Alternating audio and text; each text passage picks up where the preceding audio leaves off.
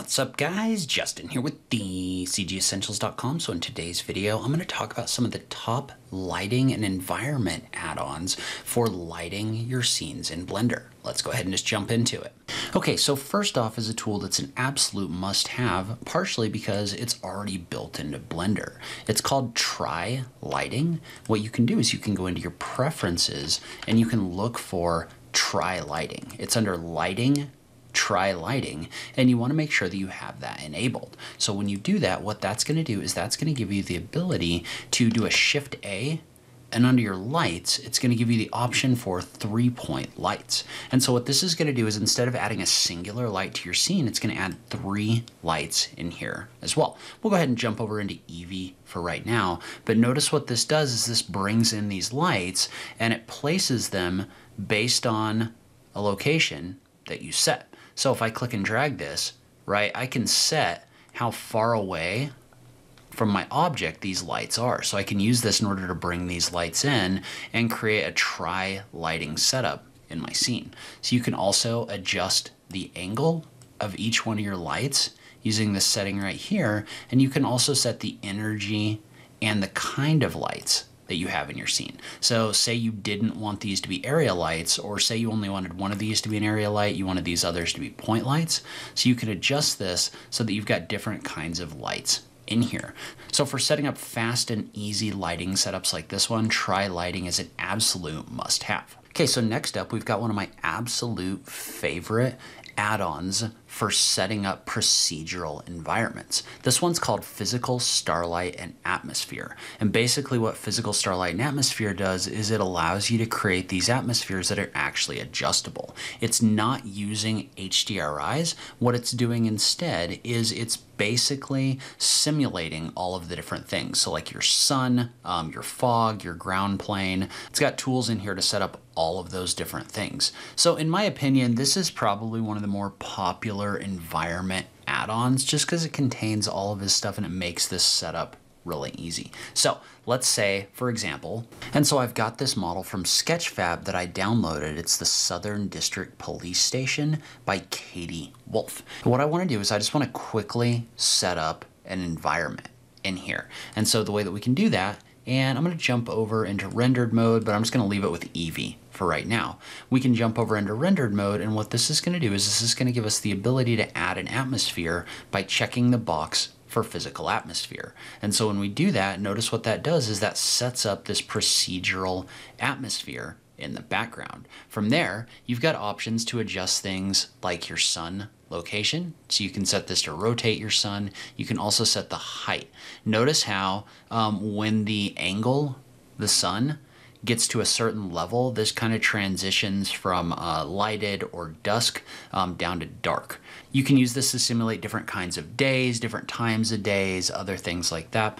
And so you've also got the ability down below, and there's a ton of atmospheric settings, which we can talk about a little bit. I'll actually link to a video I did on this one. You've also got the ability to add things like a ground plane. So if I add a ground plane in here, um, you can set like your ground offset. So like how high up your ground and your horizon is like this. So in this case, we would set it to zero because it actually looks the way that it's supposed to.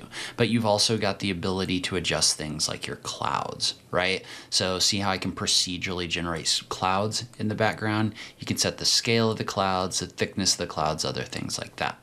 Um, you've also got the ability to add like stars at night. So let's say that we were to bring this down like this, then we wanted to bring the stars up you could turn up that radiance intensity right here um, in order to kind of customize number of stars, other things like that. And at a certain point, these stars actually emit enough light to light things in your scene. And so in addition, you've got some presets that come along with this. I don't know why my thumbnails aren't loading. This is probably something that I've messed up in here, but you've got these different presets for things like different earth settings like this. You've got the hazy summer. So if you want to add something that's kind of hazy, um, this is kind of a preset that's got a little bit of that haze, as well as some other ones that are a little bit further out there. Like for example, this one kind of simulates what the atmosphere on Mars might look like. You've also got the retro wave, which uh, gives you kind of this more like retro color right here. I really like the big sun that's in here on this one. Note that, by the way, you can adjust things like the intensity of the sun, as well as the size of the sun as well. So you can adjust the color, temperature, so just a ton of things that you can control and adjust. And I just love how you can quickly add these in just by dragging them and then making some adjustments over here to the right. So one other massive benefit is that this is set up to work in both Eevee and cycles. That can be a huge time saver because you can use Eevee in order to get your initial lighting set up before you toggle over to cycles to do your final render. So instead of doing everything in cycles, working in Eevee first can save you a lot of time. All right, so next up, we've got a tool for automating your lighting setups. And this one is actually from Blender Guru. So um, this tool is basically set up to allow you to quickly set up different kinds of lighting. And what I really like about this one is A, it really automates the process. It's kind of like that tri lighting, but significantly better. But B, it's got all of these different presets in here for different kinds of lighting that you can use in your scene. So what it does is it lets you quickly toggle between um, those different uh, those different setups in order to get different effects. So basically the way that this works, and it's really kind of set up for cycles, but the way that it works is you can just go into your world settings and you can just enable your lighting. So if I enable this right here, notice what that's going to do is that's going to automatically add in the different kinds of lights. And these are basically set up in order to kind of replicate the little previews that are in here. So um, these are the different kinds of light that it contains. So it contains object lighting setups as well as character lighting setups and there's different kinds in here. So if I was to select one of these others, right, like if I was to select, we'll go with the shadow play right here, notice how those lights are now different.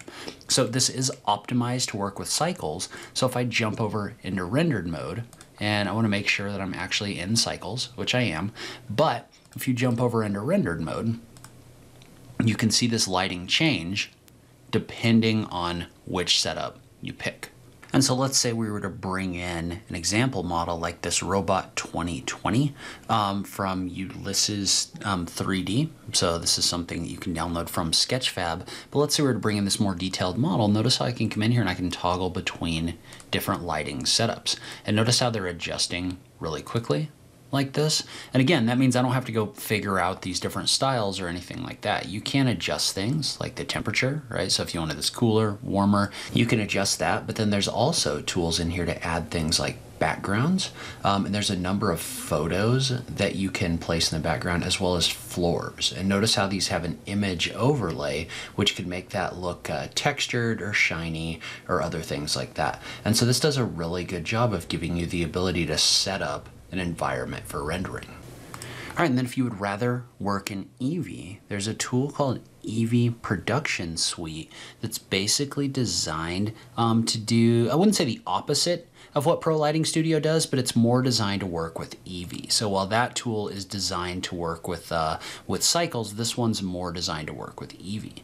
And so what that one's going to do is it's going to come with a number of different lighting setups that you can use um, specifically with an Eevee scene um, in order to do different things. This actually comes with a few different things. It also comes with the material nodes add-on as well as a landscape shader and some other things as well. Um, but specifically, we're going to focus on the Eevee pieces of this. So the way that this one would work, and we'll just use Bonnie in here again, um, but what you can do, and I'll go ahead and toggle this over to rendered mode just so you can kind of see what this does. This has all of these options on the right hand side for different lighting setups. And so notice how when I do this, what this is going to do is this is going to do the setup of the background and the lighting for me. So you can adjust between these different lights just by clicking on the presets like this.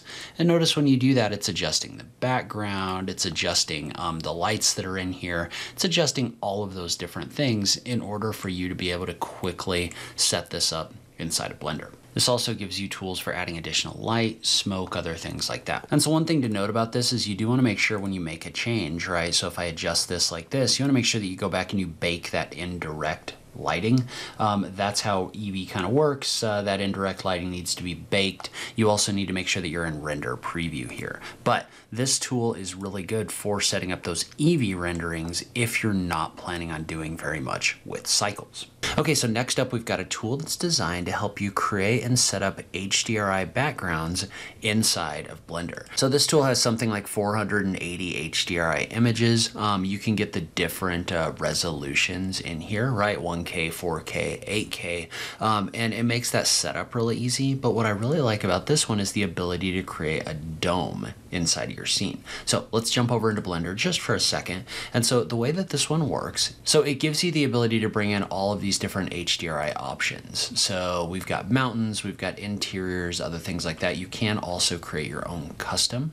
Um, but let's say that we were to select, let's say that we were to select an open world one, maybe this one right here. Well, what you can do is you can use this to add an HDRI background. You need to toggle over into rendered mode in order to actually see that, but you can see how that is fine, right? Um, it just sets up an HDRI. There's nothing really special about that. Now you do have options over here to adjust things like the strength, um, so the emission value, how strong that's going to be, other things like that. But one of the settings that I really like is the dome function. You can click on add dome and what that's going to do is that's actually going to set up a dome around your object that's going to, yes, use this as a background, but it also gives you kind of a ground plane right here. So you can scale and rotate that dome using your dome properties. And so one of the other cool things about this particular tool is the ground feature, right? So we've got the dome in here, we can scale and rotate the dome, but then you can also add an object. And in this case, I'm going to use ant landscapes in order to do this. But let's say we were to add some noise right here. We're going to scale this out. We're going to scale it down just so we've got a little bit of up and down on this plane right here. Well, now what you can do is you can scroll down, you can click on the option to add ground. And when you do that, this is going to project the material on your ground right here. So you can use this to really quickly set up environments that are completely adjustable using this tool. So I actually use the dome function on this one all the time, and it does really make life a lot easier when you're trying to work with HDRIs. All right, so if you're looking for a slightly less expensive lighting library, you might try Alt-Tab lighting. This add-on, which is usually under $10 and it's even cheaper in the Blender market sale right now, gives you access to 50 different lighting presets that are going to procedurally generate light in your scene. So they've got a bunch of different preset lights in here that you can easily apply to your scene. So if you open this up in Blender, basically the way that it works is it's just got lighting setups right here, and you can click across them and click on the append button. And when you click on the append button, what that's going to do is that's going to apply the new lighting presets in here. Now, one thing to note about this is you do want to make sure that you toggle off the old lighting presets. Otherwise, um, you're just going to get a bunch of lights stacked on top of each other like this. But you can also come in here and randomize your light colors. If you, you can select different lights and then randomize those. So you've got a fair amount of control over here. So you don't have as much control as you would in like Pro Lighting Studio, but it's also a much less expensive option if you're looking for some lighting presets to use in your scenes. So Extra Lights by Orange Turbine is basically a collection of lights that are physically accurate. What that means is that means that these lights are all based on real world fixtures and are set up to actually kind of like mimic the strength of those lights in the real world. So there's a bunch of different kinds of lights in here. So point lights, spotlights, um, all designed to be adjusted in lumens rather than watts. Um, and what that does is that allows you to adjust your lights based on what would be seen by the eye. And so there's a bunch of math involved, but generally speaking, what you need to understand is this is set up to work in lumens, um, which are based on how bright something appears to be with the human eye. So it's basically a collection of lights that are actually like physically accurate. And so if you're looking for a collection of physically accurate real world based lights, you can check out Extra Lights. All right, so next up, we've got the Polyhaven Asset Browser add-on. So you're probably familiar with Polyhaven. Um, it's a website that has a number of different textures and models and HDRIs all available. You can download all of these 100% for free from Polyhaven's website. You can download these, you can bring them in as HDRIs, other things like that. So you don't need to pay for this one. However, the asset browser itself, what this does is this just gives you access to all of the assets directly inside of Blender. So basically what it does is you install it and it brings it into your asset library and they're just sitting there ready for you to download. So what that means is that means that you don't have to go find these and set them up yourself. So this gives you access to all of not only the HDRIs, but also the materials and the models that come along with this. So this is also a great way to support Polyhaven for the work that they're doing if you don't want to go download that stuff and bring it all in manually. Now Gobos Light Textures is a tool that's basically designed to let you add artificial lights that actually simulate things like shadows, right? Because having just uh, just a light that's shining into here might not be that interesting, but if you look at like this image right here, right, it's showing these shadows as if the light was shining through a tree. So it can make your images um, or shining through tree branches and you're getting different shadows, right? So it makes it makes the light look more realistic. And so this is basically a collection of gobos or light textures that you can use in, in order to quickly add shadow projection to your scene. So um, you just drag them in and then you get lights that kind of look like this. And so the way that that works is it's pretty simple. So let's say that I wanted to add a gobo in here. What I'm going to do is I'm just going to drag these leaves over as just an example. And I'm to move this up Notice how the shadow that this is projecting, or the light that this is projecting, has the leaf and tree shadows in the background. And then note that down here at the bottom, there's a ton of different gobos that this comes along with that can create different kinds of shadows.